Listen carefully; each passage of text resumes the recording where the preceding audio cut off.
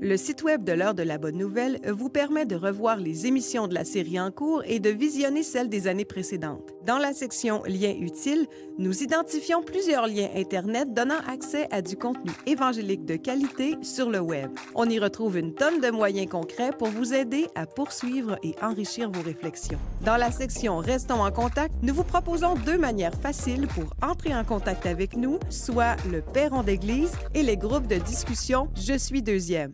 Samuel, euh, écoute, tu as une capsule sur la justice sociale dans ton site euh, Ça me parle, hein? Oui, qui se nomme Bien dans nos peaux. En fait, c'est une capsule que j'ai faite en compagnie euh, du poète Black, Emmanuel Hippolyte, c'est son nom d'artiste, et qui, qui parle du racisme. Donc, je pense que ça pourrait faire un bon complément au propos de cette émission-ci. C'est bon. Puis je trouve, moi, qu'il faut penser aux différentes œuvres de charité qui ont été mises sur pied au fil des années, des siècles même, que beaucoup, sinon la plupart d'entre elles ont été mis sur pied par des chrétiens, par des gens qui avaient la foi évangélique, qui avaient cette confiance dans les valeurs de la parole de Dieu. Je pense à la Croix-Rouge, l'armée du salut, très connue aussi. Et puis, on pourrait en nommer toute une série. Puis, si on regarde l'historique de chacune d'entre elles, on verrait que ce sont des chrétiens à la base qui avaient ce désir d'avoir une meilleure justice sociale. Oui, euh, ce souci pour le pauvre, pour l'indigent. Euh, et même dans le Vox Pop, on voyait comment les gens critiquaient fortement l'amour de l'argent, eh bien, ça, c'est quelque chose qui est, déclassé lorsqu'on vient à Jésus. Là. On comprend qu'il y a plus de joie à donner qu'à recevoir.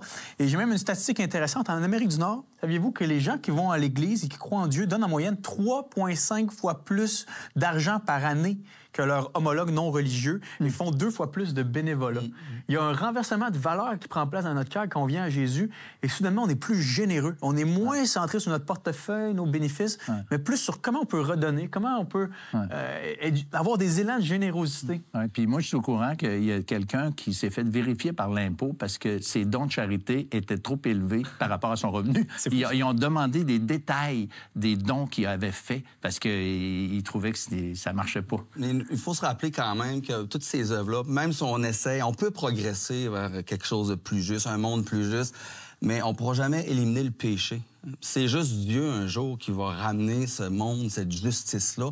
Puis il y a un verset dans 2 Pierre 3,13 qui exprime vraiment cette, cette idée-là, qui dit que, mais nous attendons, selon sa promesse, de nouveaux cieux et une nouvelle terre. Dieu va rétablir toutes choses où la justice habitera.